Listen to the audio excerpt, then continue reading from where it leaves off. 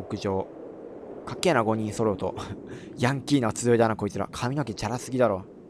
ちょ、ヤンキーおう、無事だったか？純喜？さ、探したよ。こんなとこにいたの？悪い悪い。あいつ巻いてからここに逃げ込んだんだけど、案外居心地よくてな。あ、てかさ、なんか前回はさ、葉月の死体とかがあったからさ、分かったけどさ、今回は、純喜が犯人って分かんないんじゃないかな。え、何？え、もしかして違和感 そんなさ、そんなフィーリングで犯人って 決めちゃうの？それから一見もあの子に見つからなかったおかしいと思う。おお前それ、直人に言えよじゃあ。直人に言えよじゃあお前それ。包丁？あ、そっか。結局あれか。包丁見れば分かったんか。この遊びの黒幕は？あなただよね、純喜。確証はない。せやな。なんか言ったらどう？煽っていくスタイル。証拠がねえよな。証拠？俺が殺したって証拠だよ。ねえだろ？そんなもんよ。俺があのガキと繋がってるのは認めるぜ。繋がってる ちょ、こいつなんか卑猥な感じに考えてるように見えんな。やっぱり。でもよ、それだけだ。俺は殺してねえ。誰もな。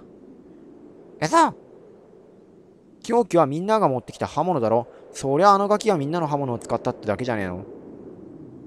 言わべ言われてみれば確かにその可能性は十分にある。しかし、腑に落ちない。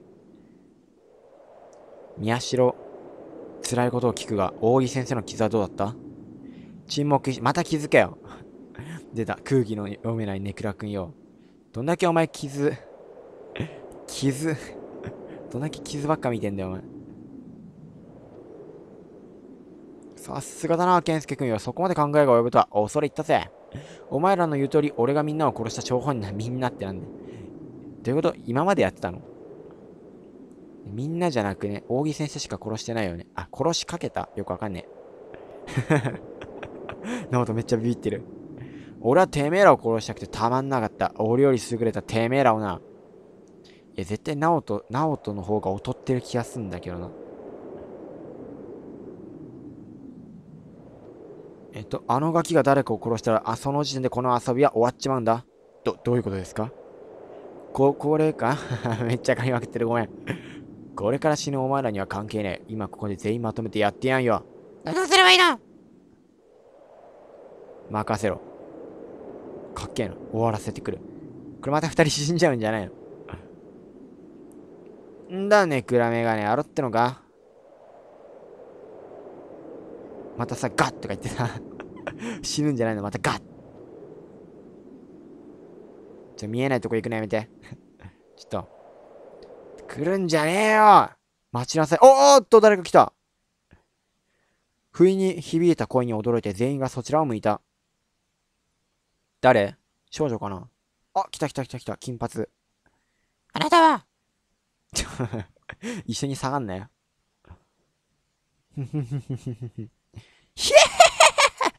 ナイスタイミングで隠れ髪。さあ、助けろ。そんな、バッドタイミングね。隠れ髪って言うんだ、これ。この絶望的な状況に、ミカたちはもはや死を覚悟した。が、少女は動こうとしない。ど、どうしたんだろう？様子がおかしいです。お、おいてめえ、言うことを聞け。何すったってんだよ黙りなさい。少女が発した言葉に純喜はハッとした。この少女は自分が主役していた少女ではない。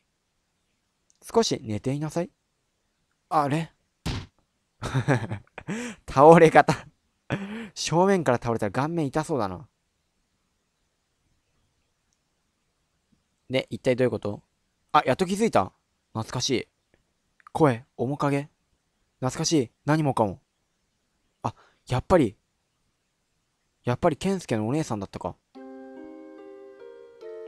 え？咲姉さん。ど、どういうこと？お姉さんは行方不明だってさっき。そういえばちょっとアルバムで見た記憶がっていうか、いろいろ唐突すぎてわけわかんないよ。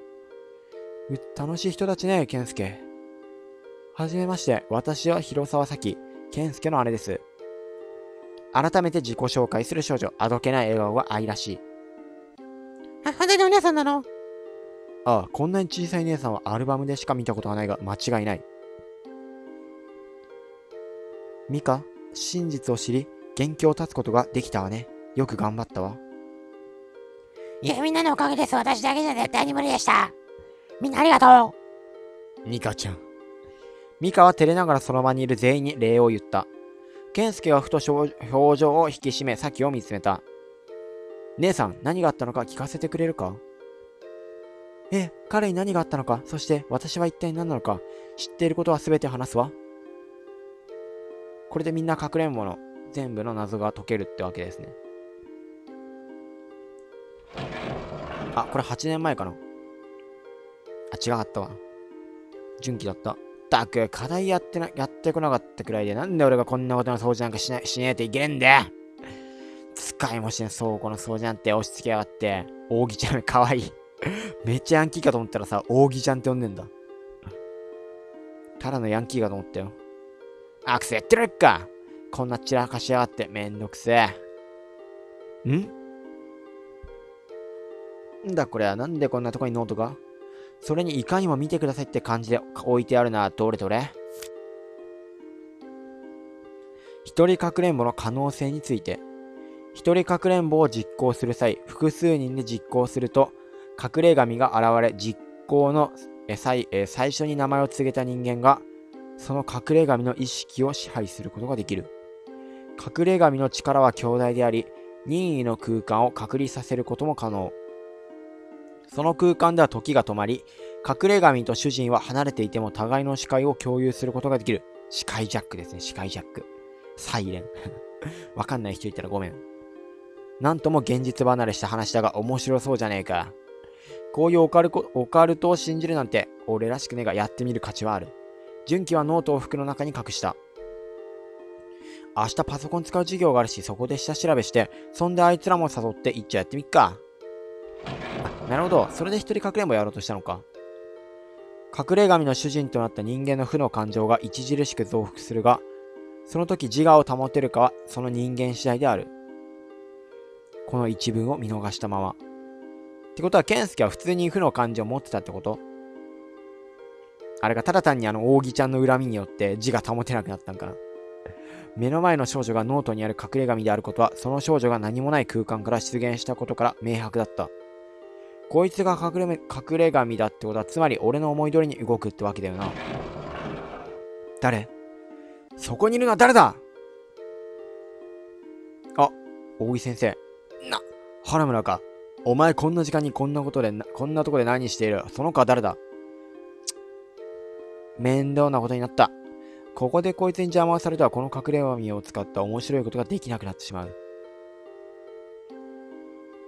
純喜はぬいぐるみの腹から自分が持参した刺身包丁を抜き取った。お前なんだそれは危ないからこっちによこしなさい。扇隼人は純喜が包丁を構えるのを見て焦り要求する。が、純喜はもう覚悟を決めていた。鬼になる覚悟。悪いな。扇ちゃんは一緒に遊べねえんだ。そう言って純喜が少女に目配せすると、少女はすぐさま隼人を拘束した。なんだこのものすごい力は。動けなじゃあな。とりあえずお前は俺の思い通りに動くみてえだな。どうやらその体格に似合わず怪力の持ち主らしい。純喜の言葉に返答することはないが、言うことは聞く。まるでロボットのようだ。け、まあいいや。とりあえずこいつをどうにかしねえとな。まず、この刺し傷だな。刺身包丁は俺が持っとくとして、凶器を勘違いさせる必要があるな。純喜は持参したカバンの中から、サバイバルナイフを取り出して、えー、隼人の腹部の傷に突き立てた。ひとまずこれでいいか。次は扇隼人を殺したのはこいつだと思わせねえとな。じゃないと俺が好きに動けねえ。いいか。今からお前は肛門に向かえ。多分誰かいると思うからそいつを襲うんだ。絶対に殺すなよ。そうしたらおま、えー俺がお前に向かって石を投げる。俺が石を投げたら俺を追いかけてこい。少女は何も言わなかったが、純喜はそれを肯定と捉えた。よし、じゃあ返した。あ、そういう裏があったのね。なるほど。はぁ、はぁ。よし、いいだろう。次の指示だ。お前まずこの学校周辺の空間を隔離させろ。そして万が一誰かがこの学校の敷地内に入ってこようとしたら排除するんだ。それ以外のやつには手を出すな。いいな。え、でもさ、これあれじゃないの？なんだっけあいつ。ケンスケさ、普通にいたじゃん。自分の中に生まれたとす黒い感情。純喜がそれに気づいた時にはすでに抑えられない状態になっていた。隠れ神の主人となった人間の負の感情が著しく増幅するが、その時自我を保てるかはその人間次第である。憎い。憎い憎い憎い憎い。自分より優れたあいつらが、人間が、世界が、自分より優れた人間など俺がぶっ殺してやる。そしてこのくだらない世界を俺のものにしてやる。この隠れ神の力で。ああ なんか覚醒した。純喜はそう言うと包丁を手に、えー、取り歩き出したみんなを探しに。で、これをみんなで、みんなを殺しに行ったってことね。純喜ミカはぎゅっと胸の前で手を握りしめた。じゃあ、純喜が急におかしくなっちゃったのって、え、隠れ神を召喚したことによる副作用のものかしら？え、てかさ、さっきはさ、どっから出てきたの？こいつ隠れ神じゃなかったの？でも私たちは腐っても神、その大きすぎる力をコントロールするには強い精神力が必要なの。私たち、えー、私があなたたちに遭遇しても命を狙わなかった時があったわよね。それは隠れ神としての私よりも自我を保った私の方が少しだけ表に現れていたから。あ、なるほど。彼は私を支配しきれていなかった。そして精神が足りない人間は逆流してくる力に耐えきれず崩壊し、心の奥底に眠る嫉妬、憎悪の感情が、えー、爆発してしまう。彼の場合はあなたたちへの劣等感が爆発したみたいね。劣等感ってでも純喜は私より運動できるし頭もそれほど悪くは。そういうことじゃない。多分原村はみんなより人間的に劣っていると感じていたんだ。心の奥底でな。そう、そんなことないと思います。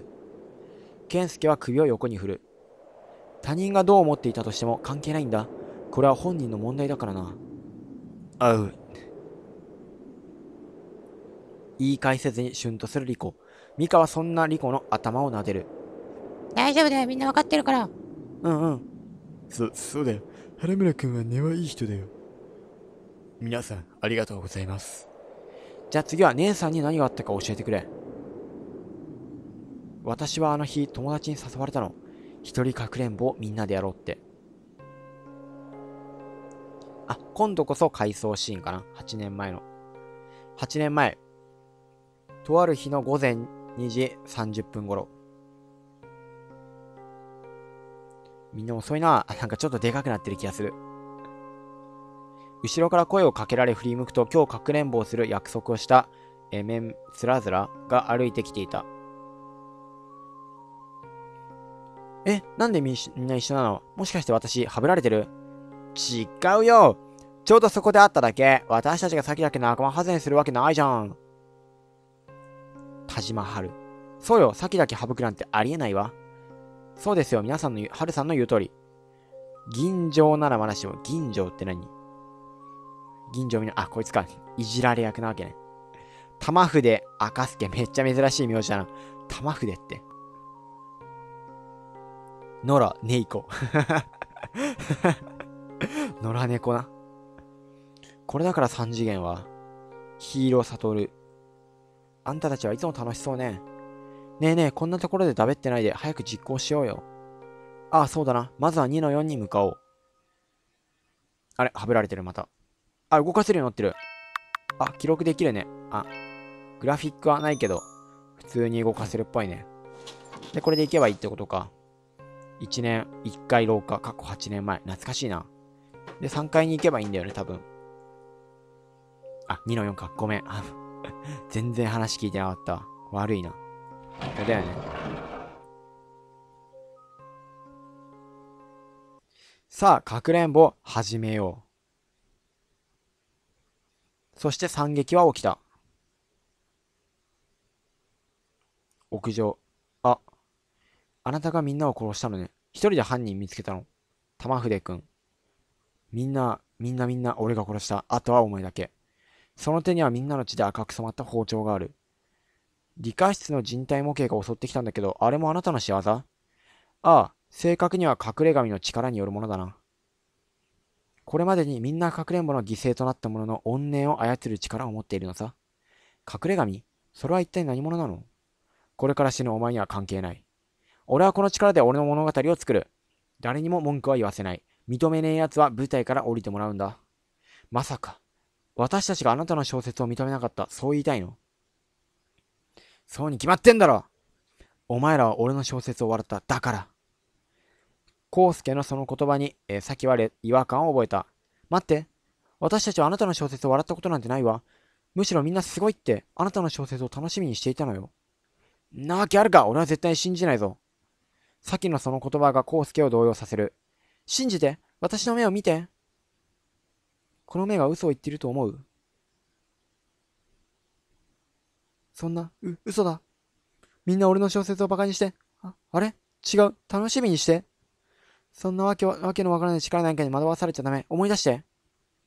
来るなみんな俺を褒めてくれたのに、そんなみんな俺を殺した？うわぁコスケくん、え、待って、自殺し、あ、間抜け？いやーさっきは叫ぶ。はるか下から大きな音がした。大切な仲間がみんな死んだ。ごめん、あくび出た。めっちゃあくび出た。ああ、よかった。生きてたね。助かった。え、生きてたの？あ、違かった。誰？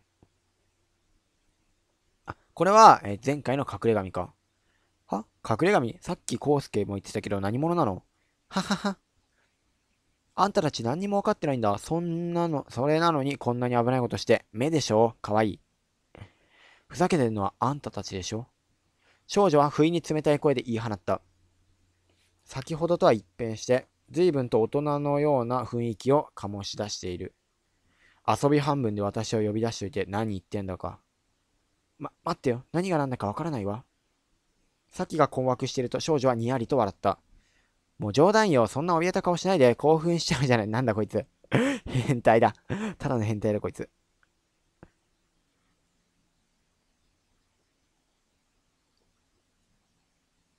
昔々この界隈では不要だと判断した人間を処分する恐ろしい風習がありました。しかしやはり殺人は犯罪。そこで人々は神様の力を借りることにしたのです。生贄を催した人人型のものに献上物としてお米を詰め、それに刃物を突き立てることで目印としました。驚かせてはいけないので人々はその儀式の最中はどこかに身を潜めていました。そうして降臨された神様に不要な人間を処分していただいたのです。これが今回あんたたちがやったみんなかくれんぼの元になってるのね。嘘、そんなことがあったなんて。探索不足じゃない。この学校にもちゃんと資料あるわよ。まあ、とにかくルーツはそこってことよ。少女はため息混じりに言う。じゃああなたはその神様だっていうの？いやー、ちょっと違うかな。いつのことか知らないけど、強い霊力を持った人人が処分されたらしいんだ。でもそういう存在がいないと歯車は噛み合わない。だからその処分された人が代わりに神様になったの。それでいつの頃か、えー、神様は隠れ神と呼ばれるようになった。昔々のお話でした。と。ま、私が隠れ神だってことは簡単に信じてもらえるとは思ってないけどね。それでもあんたは鬼である私に見つかり、今から私の手によって殺される。さきのハッとした顔を見て少女はにやりと笑った。そして少女は包丁を、コ介の包丁を構える。ま、待ってよ、こんなのおかしいと思わないの？人間を処分したり、神様を交代したり、何の意味があるのよ？意味、ねえ、そりゃあるわよ。依然としてニヤニヤと笑いながら答える。私が隠れ神としてここであんたを、一番最初に見つけた人間を殺せば、私は転生できるのよ。転生？そう、生まれ変わるの。そして鬼に最初に殺された人間は、それまでの隠れ神の、えー、と交代して新たな隠れ神となり、この遊びは終わる。よくできてるわね、ほんと。あはははは。少女は心底愉快そうに笑った。殺すなって言われても殺さないと転生できないしね。人間は自分のためなら他人を犠牲にする生き物だし、仕方ないわよね。あなたって生きてた頃からそうなの？はあ？答えて。そうね。表向きはおしとやかにしてたけど、中身はこんな感じだったかな。そんなの知らないわよ。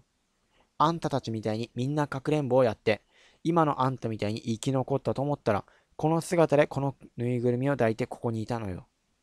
不思議だけど、その瞬間に自分がどうなったのか、どういう状況なのかわかんない。そう、わかった。ありがとう。少女の話を聞いて、サキは満足したかのようにうなずいた。何考えてるかわからないけど、無駄だと思うわよ。ふふん、それはどうかしら？くす。よくわかんないけど、私がしたこの話、この学校に残しといてあげてもいいわよ。あら、いいの？どうせあんたを殺して転生するんですもの。その後にあんたが何しようと私には関係ないわ。やっぱりあなた、元人間ね。そういう考え方をするのって人間らしいわ。なるほど。そういう過去があったと。その後私は殺された。私はただ負の連鎖を断ち切りたい。これ以上犠牲を出したくない。そう願ってた。そんな願いをあなたは叶えてくれた。感謝してもしきれないわ。さきさん。あ、でも、どうしたの？今回のみんな隠れんぼだ。隠れ神である。ちょ待って。待って。あのね、めっちゃあくび出んの、マジで。ずっと喋りっぱなしだからさ、なんか、酸欠起きそうなんだけど。今回のみんなかくれんぼでは、隠れ神であるサキさんに誰も殺されていませんでしたけど、この場合サキさんはどうなるんですか？最もな疑問だった。隠れ神は最初に見つけた人間を殺すことで転生する。誰も殺していないサキはどうなるだろうか。まさかこれからも隠れ神として。え、止まった。待って、最後の最後でバグですか？まさかの。ちょっと待って。あ、オッケー、ごめん。大丈夫よ。今回あなたたちは正しい隠れ神の帰らせ方を実行した。それだけじゃ普通に帰っちゃうだけだったみたいだけど、あの子が新しいルールを作ってくれたみたい。あ、新しいルール？そこでさっきは誰かを思うように空を見上げた。隠れ神が誰かを殺さずとも、その隠れ神を正しく返した場合、例外としてその隠れ神を転生、うわ、都合のいいな。めっちゃ都合いいな。それじゃあ姉さんは、ええ、あなたたちのおかげで転生できるわ。ありがとう。さっきは味方た、味方た、味方たちに頭を下げた。正しい帰らせ方って？あなたが持っているそのぬいぐるみのパーツよ。ぬ、ぬいぐるみのパーツですか？これにも意味があるんですか？ええ、もちろん。隠れ神はさっき言ったように対象者を殺すことで転生し遊びを終わらせる。でも対象者、つまり逃げる側の人間もとある条件を満たせばこの遊びを終わらせることができる。それがぬいぐるみの全パーツを集めることなのよ。なるほど。でも、どの部分だけ拾ってませんが？どの部分は私が見つけたわ。おおびっくりした。わあ。本当にありがとう。さて、そろそろ行かなきゃ。もう行くんですか？これでも結構粘ったのよ。え、純喜どうなんの？彼は人を殺したという罪をこれから背負って生きていかなければならないわ。たとえ彼にそんな気はなかったとしても。みんな彼を支えてあげてね。もちろんです。純喜は大切な幼馴染ですから。転生した場合はさ、どういう、どういう感じで生まれ変わるの？普通にさ、8年後の姿で現れてくんの？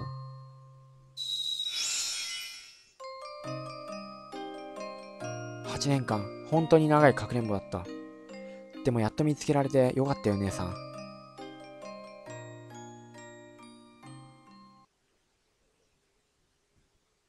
その後、目を覚ました純喜は泣きながら謝罪をしてきた。自分でもなぜあんなことをしたのかわからないと言って何度も頭を下げ続けた。しかし味方たち、味方 また噛んだ。味方たちには彼を責めるつもりなど、もっと、んもっと、け、けが、もっと、怪我しらなかった。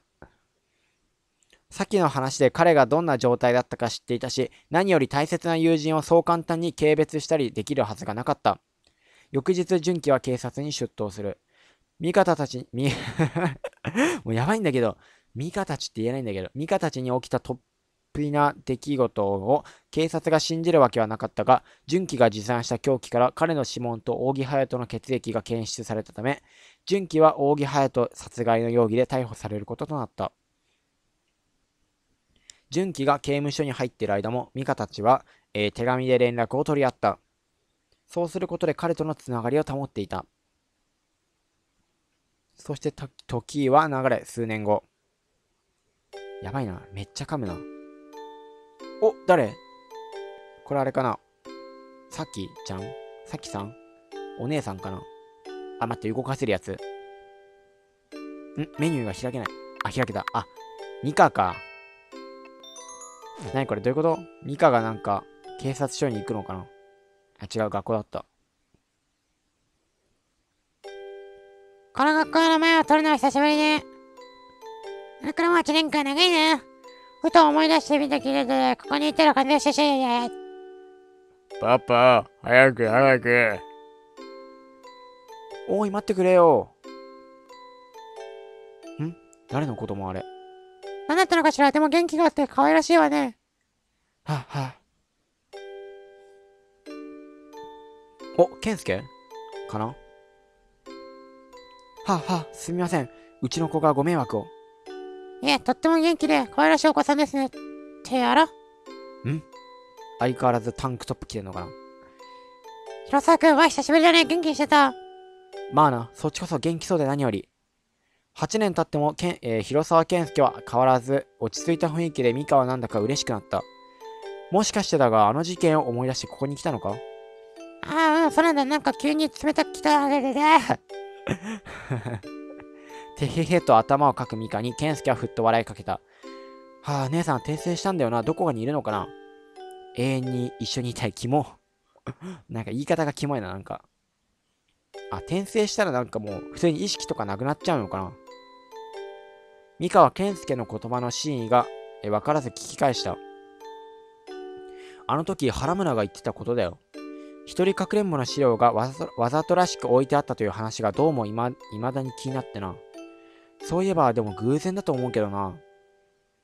しかし何回かあの倉庫には足を運んでいるんだが、そんな資料は見たことがないんだ。狙いはどうであれ、おそらくあの資料は外部から持ち込まれたか、誰かが先にあの倉庫から持ち去り、再び戻しに来たのか。おそらくそんなところだろう。それに、コウスケさんにみんなかくれんぼを教えた人物も気になるところだ。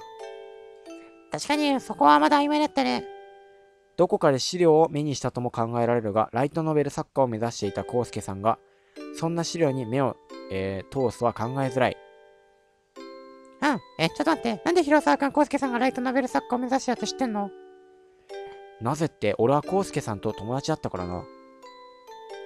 さ、そうなのなんで言ってくれなかったのよ？言う必要性を感じなかったからな。ええ。パパもう何やってるの？遅いよ。すまんすまん。ほら、お姉さんに挨拶しなさい。こんにちは。はは、こんにちは。元気がいいわね。娘さんあ、今年で6つになるかな。へえ。お名前は？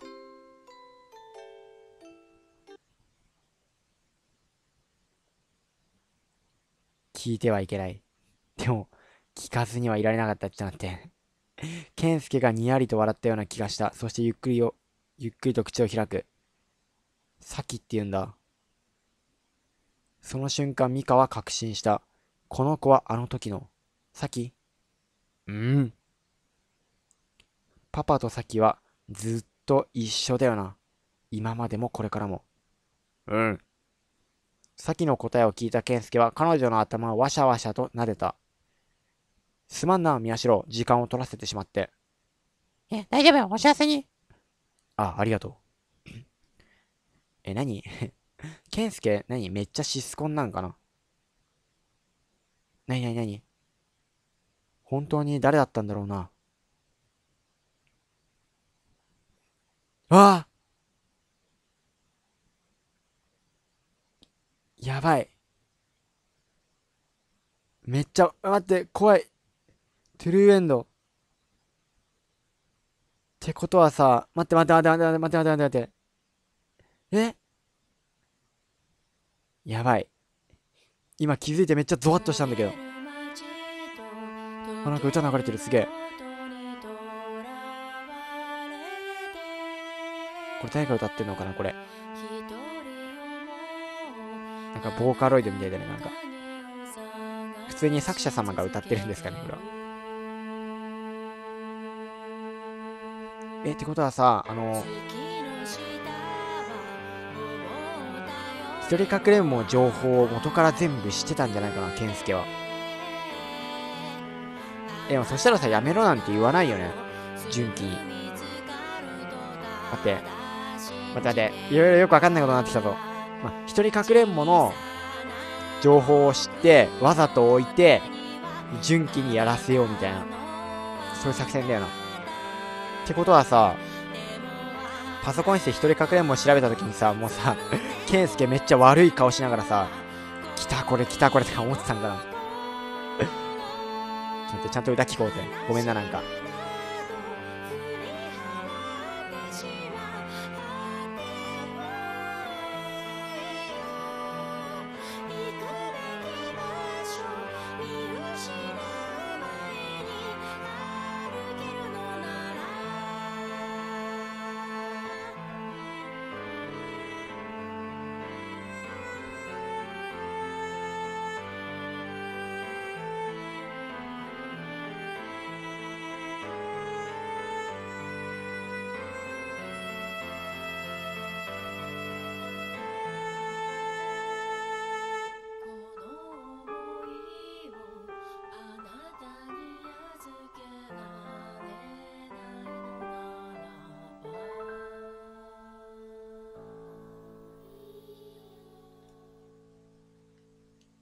Thank you for playing ってわけで。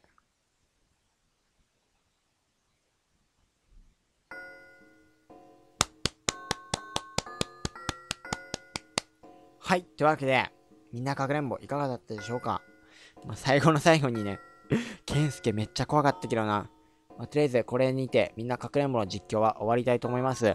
えーとですね、もう一個ですね、あの、バッドエンドとトゥルーエンド出したんですけど、ノーマルエンドがえー、もう一個あるらしいんですけど、そっちの方はもしよかったら、ご自身でダウンロードしてみて、ぜひやってみてください。